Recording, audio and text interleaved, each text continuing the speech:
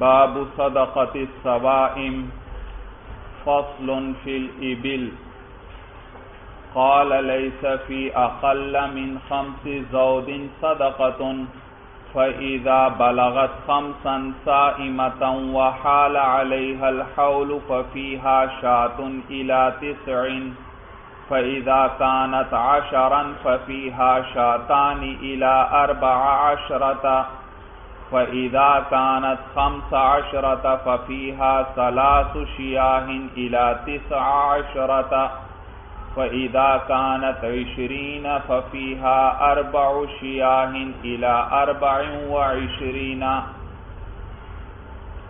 باب صدقت السوائم سوائم یاد رکھیے، جمع ہے سائمتن کی اور سائمتن وہ جانور ہے جو سال کا اکثر حصہ باہر چر کر گزارے بھائی یعنی اس کو گھر پر چارہ لا کر نہیں کھلایا جاتا، بلکہ سال کا اکثر حصہ وہ باہر چراگاہ میں، جنگل میں چرتا ہے بھائی تو اس کو کیا کہتے ہیں؟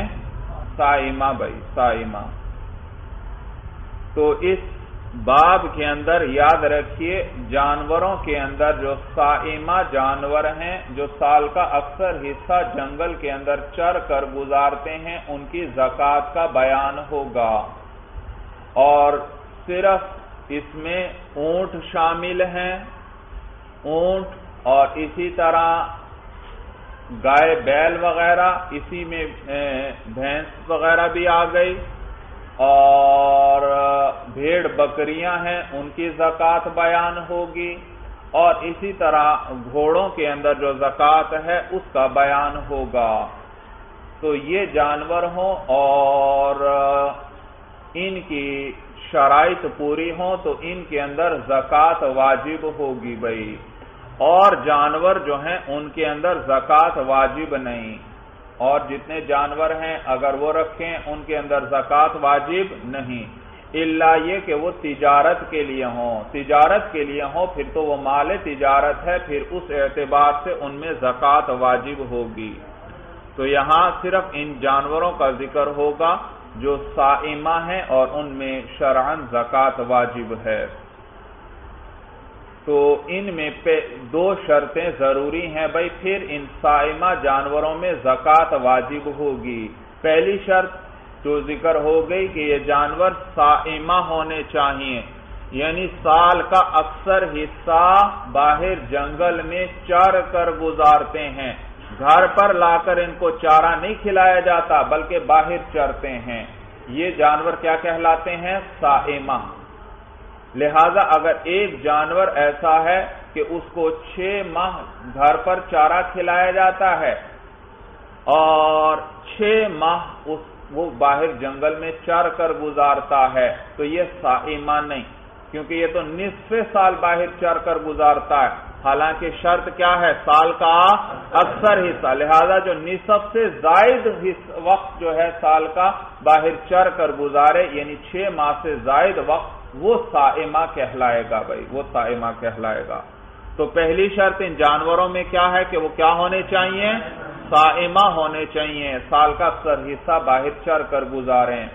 اور دوسری شرط یہ ہے کہ ان سائمہ جانوروں کو دودھ کے لیے، دودھ کے لیے یا افزائش نسل کے لیے رکھا گیا ہو، نسل بڑھانے کے لیے۔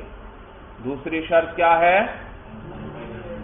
دودھ کے لیے اور یا افزائش نسل کے لیے، نسل بڑھانے کے لیے رکھا گیا ہو۔ اگر ان کو گوشت کھانے کے لیے یا سواری کرنے کے لیے رکھا ہے، تو بھی ان کے اندر زکوٰۃ واجب نہیں ہوگی۔ تو پہلی شرط کیا ہوئی کہ یہ جانور کیسے ہونے چاہیے؟ سائمہ ہونے چاہیے۔ دوسری شرط یہ کہ ان کو کس لیے رکھا گیا ہو؟ دودھ حاصل کرنے کے لیے یا افزائش نسل کے لیے رکھا گیا ہو۔ لہذا اگر صرف گوشت کھانے کے لیے یا سواری کے لیے رکھا گیا ہے تو ان کے اندر زکوٰۃ پھر واجب نہیں ہوگی بھائی، زکوٰۃ واجب نہیں ہوگی۔ اور نیز یہ بھی یاد رکھنا بھائی کہ یہ باہر جنگل میں چرتے ہیں تو تو اس چرنے کا مالک عوض نہ دیتا ہو، کوئی معاوضہ نہ دیتا ہو۔ اگر اس چراگاہ کے وہ پیسے وغیرہ دیتا ہے اس چرنے کے، تو اس صورت میں بھی یاد رکھیے ان میں زکات واجب نہیں۔ تو زکات کب واجب ہوگی؟ جب سال کا اکثر حصہ باہر چر کر گزاریں اور چریں بھی کس قسم کے جنگلات میں؟ جہاں معاوضہ نہ دینا پڑتا ہو، مباح جنگلوں کے اندر، مباح چراگاہوں کے اندر وہ چرتے ہوں۔ اور نیز یہ بھی یاد رکھیے اگر یہ جانور یاد رکھیے تجارت کے لیے ہیں، تو پھر ان کے اندر یہ والی زکات نہیں آئے گی جو یہاں بیان ہو رہی ہے، بلکہ پھر اس میں مال تجارت کے اعتبار سے جو مال تجارت میں زکات آتی ہے، اسی طرح حساب لگایا جائے گا اور چالیسواں حصہ دینا پڑے گا بھائی۔ سمجھ میں آیا بھائی؟ تو یہاں تفصیل آئے گی کہ اتنے جانوروں میں اتنی ہے، اتنے میں اتنی ہے، وہاں پر اگر تجارت کے لیے رکھے ہیں پھر تعداد وغیرہ کو نہیں دیکھنا، پھر ہر ہر جانور کے اندر زکات آتی جائے گی اور کتنا حصہ ہوگا؟ اس کی قیمت کا چالیسواں حصہ۔ ایک بکری بھی لی ہے تجارت کی نیت سے تو اس کے اندر چالیسواں حصہ سال کے گزرنے پر دینا پڑے گا۔ بات سمجھ میں آ گئی بھائی؟ تو کہتے ہیں، باب صدقت السوائمی یہ باب ہے سائمہ جانوروں کے صدقہ یعنی ان کی زکات کے بیان میں۔ فصل فی الابل، یہ فصل ہے ابل یعنی اونٹوں کے بیان میں۔ ابل عربی زبان میں اونٹ کو کہتے ہیں بھائی، اونٹ کو۔ یہ عجیب جانور ہے بھائی، اس کے بہت سی تکوینی خصوصیات بھی ہیں۔ اور اسی طرح اس کی بہت سی ادبی خصوصیات بھی ہیں۔ اونٹ کی تکوینی خصوصیات میں سے ایک خصوصیت یہ ہے کہ یہ بے انتہا فرما بردار جانور ہے بھائی۔ اتنا فرما بردار ہے، اتنا فرما بردار ہے کہ بیان سے باہر ہے۔ حتیٰ کہ دیکھیے اتنے بڑے ڈیل ڈول والا جانور ہے لیکن اگر اس کی مہار آپ کسی دو یا تین سال کے بچے کے ہاتھ میں بھی تھما دیں گے، تو وہ بچہ جدھر جدھر کا رخ کرے گا، اونٹ اطمینان سے اس کے ساتھ چلتا رہے گا بھائی، چلتا رہے گا۔ اتنا فرما بردار جانور ہے، جبکہ اور جانور اس طرح نہیں ہے بھائی۔ اور اسی طرح اس کی تکوینی خصوصیات میں سے ایک خصوصیت یہ ہے کہ اس کو بٹھا کر اس پر سامان لادا جاتا ہے اور پھر یہ اس بوجھ کو لے کر کھڑا ہو جاتا ہے۔ جبکہ اور کوئی جانور ایسا نہیں، باقی گھوڑا وغیرہ اور جو جانور ہیں، ان کو کھڑا کر کے ان پر سامان لاتے ہیں۔ اگر ان کو بٹھا کر ان پر بوجھ لادا جائے تو وہ کھڑے ہی نہیں ہو سکتے۔ بھائی بوجھ ذرا بھی زیادہ ہوا تو۔ جبکہ اونٹ پر جتنا بھی بوجھ لاتے بٹھا کر وہ اطمینان سے اس کو لے کر کھڑا ہو جاتا ہے۔ اور یہ دراصل وجہ اس کی لمبی گردن ہے بھائی۔ اس لمبی گردن کے زور پر وہ کیا کر لیتا ہے؟ اس بوجھ کو اٹھا لیتا ہے اور اس کو لے کر کھڑا ہو جاتا ہے۔ اور اس کی ایک اور تکوینی خصوصیت یہ ہے کہ ایک ستارہ ہے جسے سہیل کہتے ہیں عربی زبان میں۔ سہیل ستارہ جو ہے، اور یہ سال کے پورے سال میں چند ہفتے دکھائی دیتا ہے جنوب کی طرف۔ تو سہیل ستارے کی طرف یہ اونٹ کبھی نہیں دیکھتا۔ اگر اس ستارے پر اس کی نظر پڑ جائے تو یہ شدید بیمار ہو جاتا ہے یا مر جاتا ہے بھائی۔ تو یہ سہیل ستارے کی طرف نہیں دیکھتا بھائی اور اسی طرح اس کی ایک تکوینی خصوصیت یہ ہے کہ یہ کئی کئی دن تک بغیر پانی کے آرام سے گزارا کر لیتا ہے، آرام سے گزارا کر لیتا ہے۔ حتیٰ کہ عرب جو ہیں، عرب اس کو آٹھ آٹھ دس دس دن کے بعد پانی پلایا کرتے تھے بھائی اور عرب تو ریگستانی علاقہ ہے، وہاں تو پانی ملتا ہی نہیں ہے۔ تو اس جانور کی وجہ سے ان کو بڑی سہولت ہوتی کہ آٹھ آٹھ، دس دس دن تک پانی پلانے کی ضرورت ہی نہیں ہے بھائی۔ اگر ہر دن میں ایک یا دو مرتبہ ہر روز پانی پلانا پڑتا، تو پھر تو وہ لوگ بڑی مشکل میں پڑ جاتے۔ اس پر وہ لمبے لمبے سفر کرتے، کئی کئی دن تک پانی پلانے کی حاجت ہی نہ ہوتی تھی بھائی۔ تو عرب اس کو خشکی کا جہاز کہتے تھے۔ جیسے ایک سمندری جہاز ہوتا ہے، سمندر میں سفر کیا جاتا ہے، اسی طرح اس کو کیا کہتے تھے؟ خشکی کا جہاز بھائی۔ اور نیز اس کے پاؤں جو ہے، اس کی ایک خصوصیت یہ کہ اس کے پنکھ جو ہے، تلوے چوڑے چوڑے ہیں بھائی۔ تو لہذا یہ اطمینان سے ریت کے اندر سفر کرتا ہے، پاؤں اس کے ریت میں دھنستے نہیں ہیں۔ جبکہ اور جانور جو ہیں، گھوڑے وغیرہ، گھوڑے خچر وغیرہ، ان کے پاؤں جو ہیں، وہ ریت کے اندر دھنستے ہیں۔ تو ان پر اتنی آسانی سے ریت کے اندر سفر نہیں ہو سکتا، جتنی آسانی سے اونٹ پر بھائی۔ اور عرب باقاعدہ اس کے پشت پر کمرہ بنا لیتے تھے بھائی۔ لکڑیاں وغیرہ لگا کر اس پر کپڑے، کپڑا لٹکا لیتے اور شدید دھوپ کے اندر بھی اس کمرے کے اندر جو جس کو کپڑے سے بنایا گیا ہے، ڈھانپا ہوا ہے، اطمینان سے سفر کرتے رہتے بھائی۔ اور پانی پلانے کی بھی جلدی ضرورت نہ ہوتی، کئی کئی دن بعد پانی پلاتے تھے بھائی۔ سمجھ میں آیا؟ تو یہ اس کی تکمینی خصوصیات ہیں بھائی۔ اور اسی طرح اس کی بہت سی ادبی خصوصیات بھی ہیں۔ جیسے اس کا نام ہے ابل ابل ابل بروزن فعل ہے۔ فا کے نیچے بھی کسرا اور عین کے نیچے بھی کسرا ابل بروزن فعل ہے۔ اور امام سیبوے فرماتے ہیں، پورے کلام عرب میں فعل وزن پر سوائے ابل کے اور کوئی لفظ نہیں ہے بھائی۔ پورے کلام عرب میں اس وزن پر اور کوئی لفظ نہیں ہے۔ یہ کون فرماتے ہیں؟ امام سیبوے بعض علماء نے ایک دو اور لفظ بھی بیان کیے ہیں بھائی۔ اور ایک دو لفظ اور بھی بیان کیے ہیں، لیکن حق یہی ہے کہ پورے کلام عرب میں یہی ایک لفظ ہے۔ باقی اگر کوئی لفظ اس وزن پر آتا بھی ہے، وہ کسی اور وزن سے نقل وغیرہ ہوگا بھائی۔ سمجھ میں آیا بھائی؟ تو یہی وزن ہے۔ اور ایک اور ادبی خصوصیت، ادبی نقطہ اس کے نام کا۔ اس کا دوسرا نام ہے جمل جمل۔ جمل بھی کسے کہتے ہیں؟ اونٹ کو۔ اور اس کی ادبی خصوصیت یہ ہے کہ اس لفظ کی پے در پے چھ جمعیں آتی ہیں اور پورے کلام عرب میں اور کوئی ایسا لفظ نہیں۔ عربی زبان میں ایسا ہوتا ہے، بھائی بعض اوقات ایک لفظ کی جمع آتی ہے، پھر اس جمع کی آگے جمع آتی ہے بھائی۔ سمجھ میں آیا بھائی؟ جمع کی آگے، پھر آگے جمع کی جمع کی آگے پھر جمع آ جاتی ہے۔ تو یہ جو جمل ہے، اس کی پے در پے چھ جمعیں آتی ہیں اور کوئی لفظ ایسا نہیں بھائی۔ کوئی لفظ ایسا نہیں۔ جیسے بھائی، یہ لکھ لیجیے بھائی۔ جمل کی جمع جو ہے، جمل کی جمع اجمل آتی ہے۔ جمل کی جمع اجمل آتی ہے۔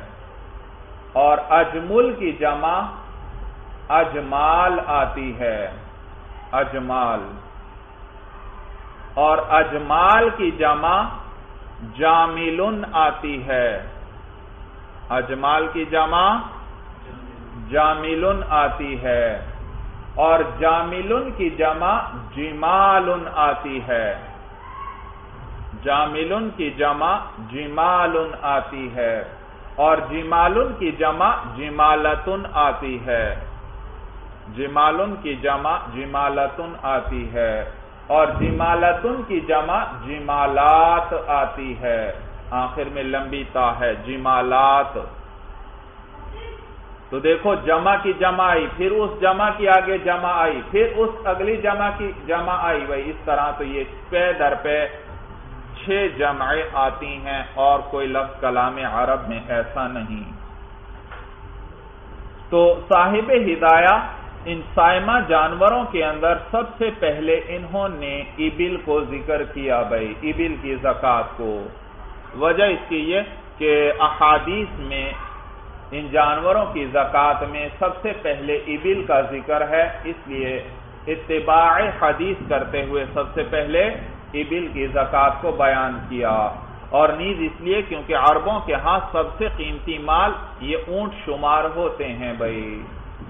اونٹ، جس شخص کے پاس جتنے زیادہ اونٹ ہوتے، اتنے ہی وہ مالدار شمار ہوتا تھا۔ ایک ایک آدمی کے سینکڑوں بلکہ ہزاروں تک اونٹ ہوا کرتے تھے بھائی۔ اب دیکھیے بھائی کتاب پر۔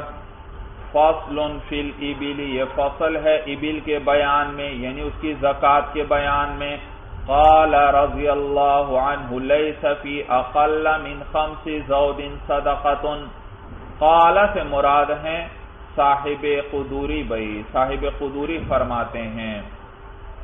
لیس فی اقل من خمس زود صدقت نہیں ہے فی اقل من خمس زود پانچ افراد سے کم میں صدقت صدقہ یعنی اونٹوں کے پانچ افراد میں سے کم کے اندر زکات واجب نہیں۔ یاد رکھیے، یہاں زود کا لفظ آیا، زود۔ یہ زود جو ہے نا، یہ ایک اونٹ کو نہیں کہتے، یہ اونٹوں کے ریوڑ کو کہتے ہیں۔ اور تین سے لے کر دس تک ان کی تعداد ہو۔ چاہے تین ہو، چاہے چار ہو، پانچ ہو، تو دس تک جو ریوڑ ہو، وہ کیا کہلاتا ہے؟ زودن کہلاتا ہے۔ تو اگر ظاہری لفظوں کو دیکھا جائے تو معنی یہ بنتا ہے، پانچ ریوڑوں سے کم میں زکات نہیں۔ اور زود میں، ایک میں کم سے کم کتنے افراد پر بولا جاتا ہے؟ تین پر۔ تو پانچ تیے پندرہ۔ گویا پندرہ اونٹوں سے کم کے اندر زکات نہیں، یہ معنی بنتا ہے، لیکن یہ مراد نہیں، بلکہ مراد کیا ہے؟ پانچ اونٹوں سے کم کے اندر زکات نہیں۔ پانچ اونٹ ہوں گے تو ان میں زکات آئے گی، اس سے کم ہے تو زکات نہیں۔ تو بھائی زو تو ریوڑ کو کہتے ہیں، پھر خمسہ زو کا معنی تو کم از کم کتنے اونٹ ہونے چاہیے؟ پندرہ۔ تو علماء اس کا ضابطہ بیان فرماتے ہیں۔ کہتے ہیں زود ریوڑ کے معنی میں ہے، لیکن جب اس کی طرف عدد کی اضافت کر دی جائے، جیسے یہاں ہے خمسا زودن، کون سا عدد آ رہا ہے اس سے پہلے؟ خمسا کا۔ تو عدد جب اس سے پہلے آ جائے اور اس کی طرف عدد کی اضافت کر دی جائے، تو اس صورت میں یہ ریوڑ کے معنی میں نہیں، بلکہ فرد کے معنی میں ہوتا ہے۔ کس معنی میں ہو جاتا ہے؟ فرد کے معنی میں ہوتا ہے۔ تو خمس زودین کا کیا معنی؟ پانچ ریوڑ یا پانچ افراد اس کے؟ اس کے پانچ افراد بھائی۔ جیسے رحت بھائی، را، ہا اور بھائی رحت رحت کہتے ہیں آدمیوں کی جماعت تین سے لے کر دس تک۔ تو یہ اس میں جمع ہے۔ لیکن جب اس کی طرف عدد کی اضافت کر دی جائے، یہ پھر شخص اور فرد ان کے معنی میں ہو جائے گا کہ پانچ افراد بھائی۔ تو رات کی طرف جب عدد کی اضافت ہو جائے تو پھر یہ شخص اور فرد کے معنی میں ہو جاتا ہے۔ تو یہاں بھی اسی طرح ہے۔ تو صاحب قدوری فرماتے ہیں لئی صفی اقل من خمس زود صدقت ان پانچ اونٹوں سے کم کے اندر زکات نہیں ہے۔ فضا بلاغت خمسن جب یہ اونٹ پہنچ جائیں پانچ کی تعداد کو سا اس حال میں کہ وہ سائمہ ہوں یعنی سال کا اکثر حصہ جنگل میں چرنے والے ہوں۔ وہ حال الحول، اور ان پر ایک سال گزر جائے۔ ففیحا شاتن تو ان کے اندر ایک بھیڑ بکری ہے۔ ان کے اندر ایک بھیڑ بکری واجب ہے۔ یاد رکھیے شاد کا لفظ صرف بکری کو شات نہیں کہتے، بلکہ شاد کا لفظ بھیڑ بکری دونوں پر بولا جاتا ہے۔ یہ اس میں جنس ہے بھائی۔ یہ بھیڑ بکری دونوں پر بولا جاتا ہے اور دونوں کے مذکر مونس اس کے اندر داخل ہیں۔ تو بکرا بکری اور دمبا اور بھیڑ سب اس کے اندر داخل ہو گئے۔ مانا سمجھ میں آیا بھائی؟ تو شاد کا بھیڑ بکری دونوں کو شامل ہے بھائی۔ حالانکہ عام رائج یہ ہے کہ شاد کا کیا مانا کرتے ہیں؟ بکری کے۔ نہیں بھائی، بکری کو نہیں، یہ بھیڑ بکری دونوں پر بولا جاتا ہے۔ دونوں اس کے اندر داخل ہیں۔ بھائی یوں کیجیے کہ یہ اونٹوں کی زکات ذرا آپ لکھ لیجیے، پھر جلدی جلدی باب آپ کو سمجھ میں آ جائے گا۔ اوپر لکھ لیں بھائی زکات البل زکات البل اور عنوان دے دیں، ابتدا سے ابتدا سے۔ ابتدا سے لکھ لیا بھائی۔ اچھا اس ابتدا کے نیچے سارے کے نیچے ایک لکیر کھینچ دیں۔ سارے کے نیچے ایک لکیر کھینچ دیں۔ یہ عنوان ہے نا، عنوان کی طرح اس کے نیچے لکیر کھینچ دیں۔ اچھا اس کے نیچے لکھیے پانچ۔ پانچ کا عدد لکھیے۔ پانچ کا عدد لکھ لیا بھائی۔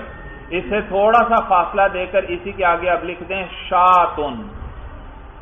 شاتن۔ کیا مانا کہ پانچ اونٹوں میں کیا آئے گی؟ شاتن ایک بھیڑ بکری آئے گی۔ لکھ لیا بھائی؟ جلدی کیجیے بھائی۔ ہاں پانچ کے نیچے لکھیے بھائی، دس۔ اس کے آگے لکھ دیجیے، شاتانی۔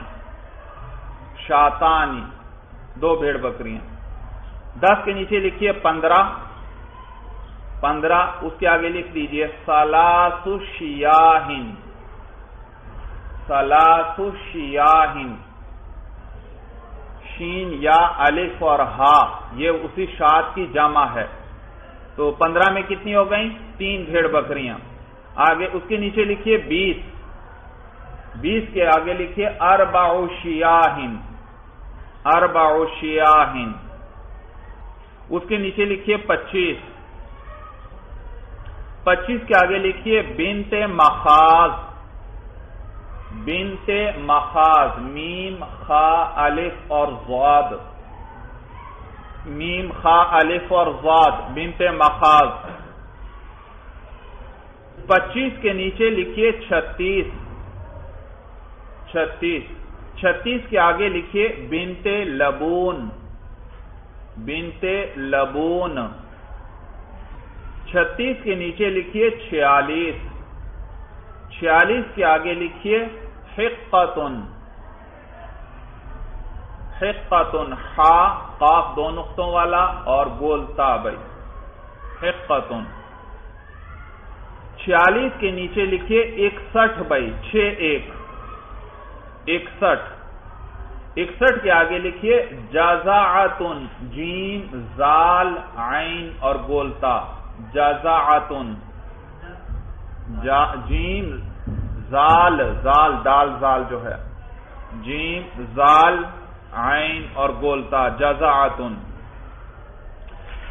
اچھا اکسٹھ کے نیچے لکھیے چھتر بھائی۔ چھتر چھتر کے آگے لکھیے، بنتا لبون بنتا، الف کے ساتھ ہے بھائی۔ بنتا لبون اصل میں کیا تھا؟ بنتانی لبون، نون اضافت کی وجہ سے گر گیا، تو یہ تسنیہ ہے بنت کی، بنتا لبون۔ چھتر کے نیچے لکھیے، اکانوے۔ اکانوے۔ اکانوے کے سامنے لکھیے حقتانی حقتانی اب اس کے نیچے لکھ دیجیے، ایک سو بیس تک دو حقے ہی ہوں گے۔ ایک سو بیس تک دو حقے ہی ہوں گے۔ لکھ لیا بھائی؟ اب اس کے نیچے دوسرا عنوان دیجیے۔ ایک سو بیس سے زائد۔ ایک سو بیس سے زائد۔ اس کے نیچے بھی پورے کے نیچے لکیر کھینچتے ہیں۔ پتہ لگے یہ عنوان ہے۔ ایک سو بیس سے زائد میں آگے لکھ بھی دیں بلکہ ایک سو بیس سے زائد میں زکات ایک سو بیس سے زائد میں زکات اب پھر نیچے لکھیے، پانچ اور اس کے آگے لکھیے، شاتن۔ پانچ کا عدد لکھیے اور اس کے آگے لکھیے، شاتن۔ پانچ کے نیچے لکھیے، دس۔ آگے لکھیے، شاتانی۔ شاتانی۔ اس سے نیچے لکھیے پندرہ اور اس کے آگے لکھیے سلاس شیاہن سلاس شیاہن۔ پندرہ کے نیچے لکھیے بیس بھائی، اور اس کے آگے لکھیے اربا شیاہن اربا شیاہن۔ بیس کے نیچے بھائی پچیس لکھیں، پچیس۔ اور اس کے آگے لکھیے بنت مخاز بنت مخاز آخر میں واد ہے۔ پچیس کے نیچے لکھیں بھائی، تیس۔ تیس۔ یرحمک اللہ۔ تیس لکھ لیا بھائی۔ تیس کے آگے لکھیے، حقتن۔ حقتن۔ ہا قاف دو نقطوں والا اور بولتا، حقتن۔ اب اس کے نیچے اب عدد نہیں لکھنا، عبارت میں لکھیں۔ جیسے اوپر بھی درمیان میں میں نے ایک عبارت لکھوائی تھی، کیا لکھا تھا؟ ہاں وہاں بھی ایک سو بیس کو عدد کی صورت میں نہ لکھیں تو بہتر ہے، ورنہ اشتباہ پڑے گا۔ بے شک ویسے عدد میں بھی لکھ لیں، آپ کو تاکہ سمجھنے میں آسانی ہو، اس لیے عدد میں لکھیں تو زیادہ اچھا ہے۔ تو یہاں پر بھی اب عدد نہ لکھنا اگلی سطر میں، بلکہ عبارت میں لکھیں۔ تو ایک سو پچاس میں تین حقے ہو گئے۔ تو ایک سو پچاس میں تین حقے ہو گئے۔ لکھ لیا بھائی۔ اس سے نیچے اب پھر تیسرا عنوان دیں۔ ایک سو پچاس سے زائد میں زکات ایک سو پچاس سے زائد میں زکات ایک سو پچاس سے زائد میں زکات بھائی، عنوان کے نیچے لکیر بھی کھینچتے ہیں، سارے اس عنوان کے نیچے۔ لکھ لیا بھائی؟ اب اس کے نیچے پھر اسی طرح لکھیے بھائی، پانچ اور اس کے آگے لکھیے شاتن۔ پانچ لکھیں اور اس کے آگے شاتن۔ اس کے نیچے لکھیں دس اور اس کے آگے لکھیں شاتانی۔ اس سے نیچے لکھیں پندرہ اور اس میں لکھیں سلاس شیاہن۔ پندرہ کے نیچے لکھیں بیس اور اس کے آگے لکھیں اربع شیاہن۔ بیس کے نیچے لکھیں بھائی پچیس اور پچیس کے آگے لکھیں بنت مخاز بنت مخاز اس کے پچیس کے نیچے لکھیں بھائی چھتیس اور چھتیس کے آگے لکھیں بنت لبون۔ بنت لبون۔ لام، با و نون، بھائی، لبون۔ چھتیس کے نیچے لکھیں چھیالیس چھیالیس۔ اس کے آگے لکھیں حقتن حقتن۔ اب اس کے نیچے لکھیے چھیالیس سے پچاس تک چھیالیس سے پچاس اب عدد نہ لکھیں، عبارت لکھیں۔ چھیالیس سے پچاس تک حقہ ہی رہے گا۔ ایک حقہ ہی رہے گا۔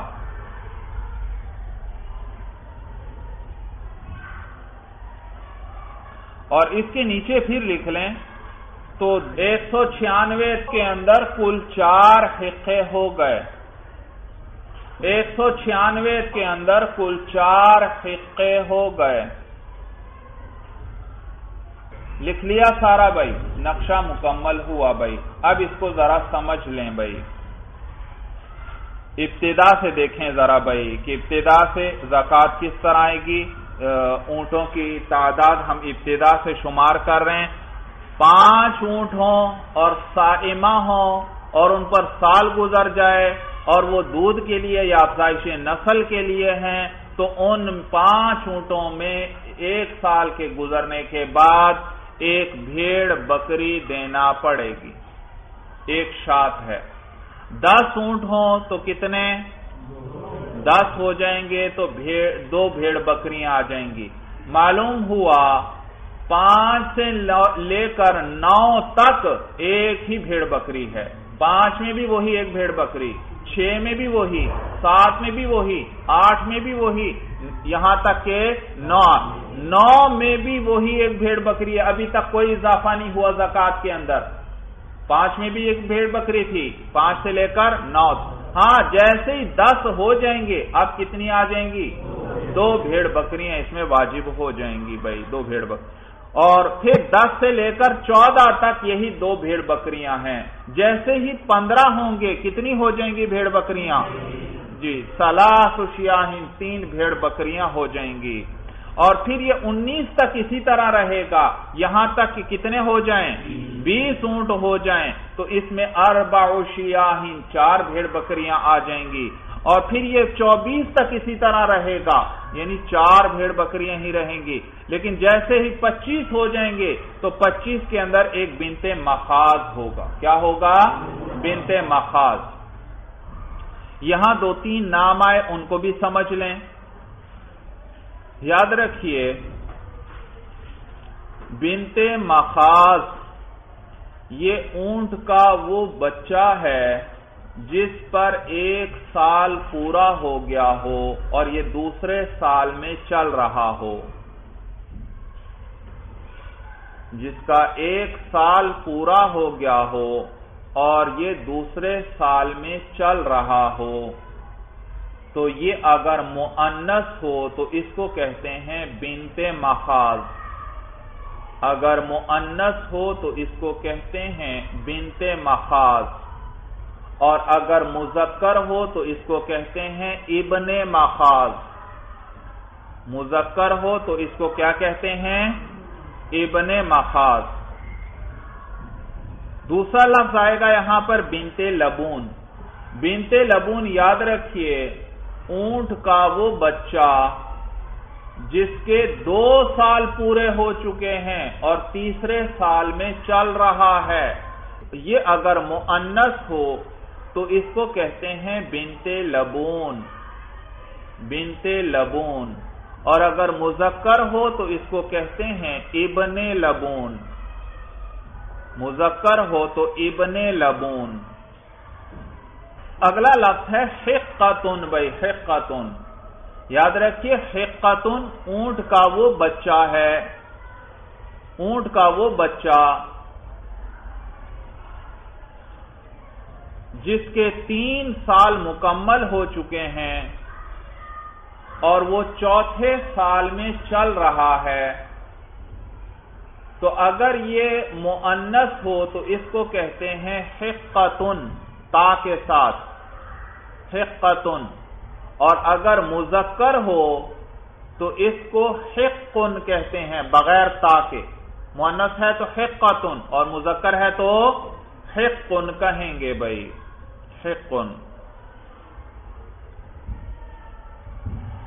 اور اگلا لفظ آئے گا جزاعتن یاد رکھیے جزاعتن اونٹ کا وہ بچہ جس پر چار سال مکمل ہو گئے ہیں اور پانچویں سال میں وہ چل رہا ہے. تو اگر وہ معنس ہو تو اس کو جزاعتن کہتے ہیں بھائی، زال پر یاد رکھیے، فتحہ پڑھنا ہے، ساکن نہیں۔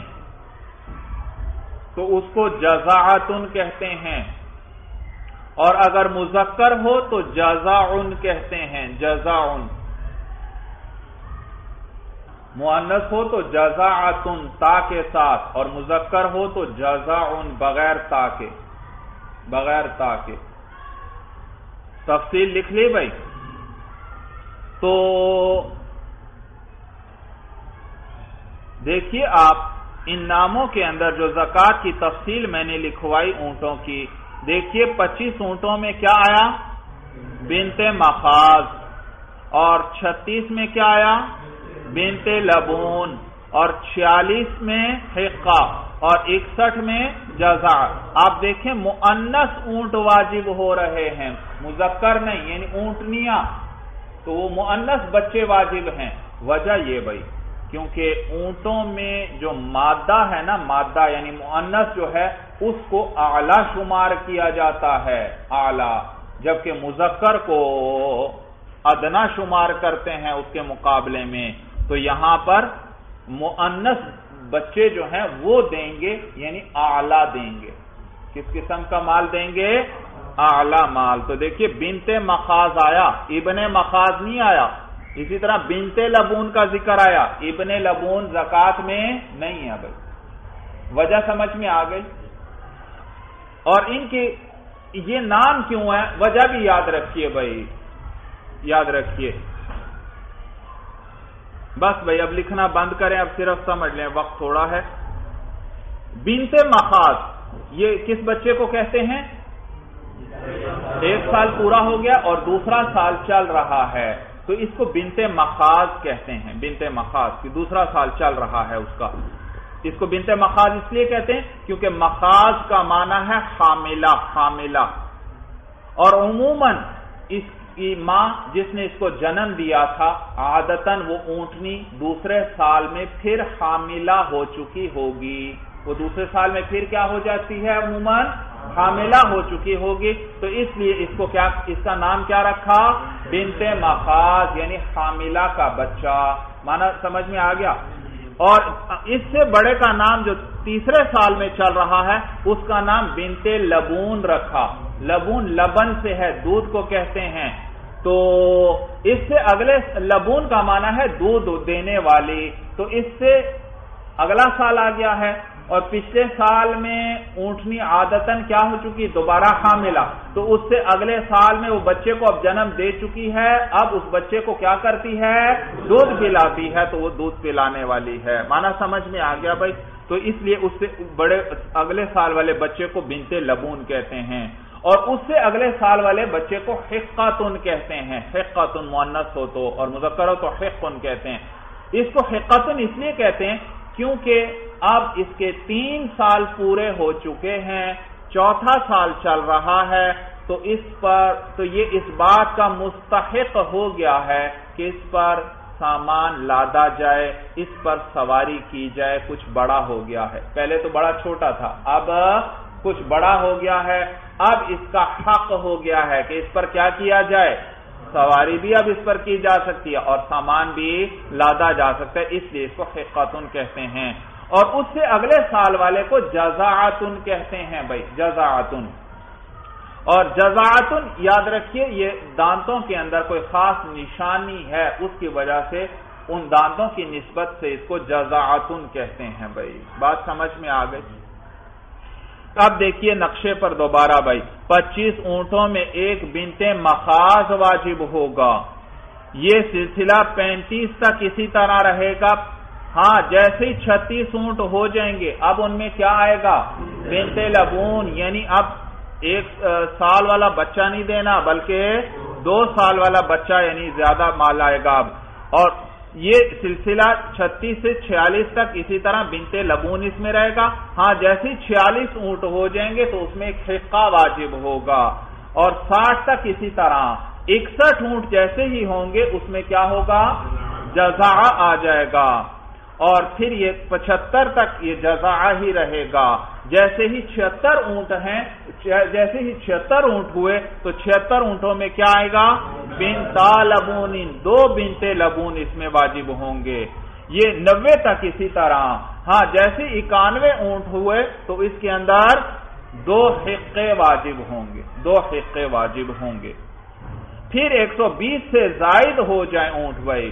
تو پھر اسی طرح پانچ اونٹوں میں ایک بھیڑ بکری، دس کے اندر دو بھیڑ بکریاں، پندرہ کے اندر تین بھیڑ بکریاں، اور بیس کے اندر چار بھیڑ بکریاں، پچیس کے اندر پھر بنتے مخاز آئے گا۔ انتیس تک بھائی، انتیس تک۔ پہلے کہاں تک تھا؟ پینتیس تک۔ اب ایک سو بیس سے زائد میں انتیس تک بنتے مخاز ہے۔ اور جیسے ہی تیس ہوں گے تو اس میں حقہ آ جائے گا۔ یہ ایک سو بیس سے اوپر والوں کی بات ہو رہی ہے بھائی۔ تو ایک سو بیس سے اوپر جیسے ہی تیس ہوئے، ان میں کیا آ گیا؟ ایک حقہ۔ اور ایک سو بیس میں کتنے حقے تھے؟ دو۔ تو ایک سو بیس اور یہ والے تیس کتنے ہو گئے؟ ایک سو پچاس۔ تو ایک سو پچاس میں کل کتنے حقے ہو گئے؟ تین حقے ہو گئے۔ حساب سمجھ میں آ رہا ہے۔ اسی لیے اس کے نیچے میں نے لکھوایا کہ ایک سو پچاس میں کل کتنے حصے آ گئے؟ تین حصے اس کے بعد ایک سو پچاس سے زائد کا حصہ پھر اسی طرح ہے جیسے ابتدا سے تھا۔ پانچ اونٹوں میں ایک بھیڑ بکری، دس کے اندر دو بھیڑ بکریاں، پندرہ کے اندر تین اور بیس کے اندر چار بئی اور پچیس میں پھر کیا آ جائے گا؟ ایک بنتے مخاص چھتیس کے اندر کیا آئے گا؟ ایک بنتے لبون بھائی، اور چھیالیس سے لے کر پچاس تک اس میں کیا آئے گا؟ ایک حقہ آئے گا۔ چھیالیس سے لے کر پچاس تک یہ ایک حقہ رہے گا۔ تو ایک سو پچاس میں کتنے حقے تھے؟ تین۔ اور یہ اس سے زائد یہ جو چھیالیس ہو گئے، تو کیا آ جائے گا اس میں؟ ایک اور حقہ۔ یعنی ایک سو چھیانوے میں کتنے حقے ہو گئے؟ چار۔ اور یہ چھیالیس سے پچاس تک ہے یعنی ایک سو چھیانوے سے دو سو تک۔ یہ چار ہی حقے رہیں گے، دو سو تک۔ دو سو سے اوپر جب حساب جائے گا، تو پھر یہی ایک سو پچاس سے زائد والا جو حساب ہے، پھر شروع ہو جائے گا۔ طریقہ سمجھ میں آ رہا ہے؟ اب یہ جو آیا نا سب سے آخر میں ایک سو پچاس سے زائد والا حساب جو ہے، ایک سو پچاس سے دو سو تک والا جو حساب ہے، یہ پچاس والا حساب اب بار بار آئے گا۔ ایک سو پچاس سے اور ایک سو پچاس سے زائد کتنے اونٹوں کا حساب ہے؟ ایک سو پچاس سے اوپر کتنے اونٹوں کا حساب آپ نے لکھا؟ پچاس۔ اس سے اوپر پانچ میں ایک بکری ہے، دس میں دو ہیں، پندرہ میں تین ہیں، بیس میں چار ہیں، پچیس میں بنتے مخاذ ہے، چھتیس میں بنتے لبون ہے، چھیالیس سے لے کر پچاس تک اس میں کیا واجب ہے؟ حصہ۔ تو یہ جو آخری پچاس اونٹوں کا حساب ہے، ایک سو پچاس سے اوپر کہاں تک؟ دو سو تک۔ یہی پچاس اونٹوں والا حساب اب بار بار چلے گا بار بار چلے گا۔ تو لہذا دو سو تک تو ہو گئے، یہ چار حقے۔ دو سو سے ایک بھی اوپر ہو جائے گا تو نئے سرے سے حساب شروع ہو جائے گا۔ اور دو سو سے ایک اوپر ہے تو ایک کے اندر تو یہاں کوئی بیڑ بکری نہیں۔ لہذا اس کے اندر بھی وہی چار حقے۔ دو، تین، چار، یہاں تک کہ کتنے اونٹ ہو جائیں؟ پانچ دو سو سے اوپر ہو گئے تو پانچ میں کیا واجب ہوتی ہے؟ ایک بھیڑ بکری واجب ہوتی ہے، لہذا دو سو پانچ کے اندر چار حقے اور ایک بھیڑ بکری۔ دو سو دس کے اندر چار حقے اور دو بھیڑ بکریاں۔ اور دو سو پندرہ کے اندر چار حقے اور تین بھیڑ بکریاں۔ اور دو سو بیس کے اندر چار حصے۔ تو اسی طرح ہوتے ہوتے دو سو چھیالیس کے اندر کتنے حقے ہو جائیں گے؟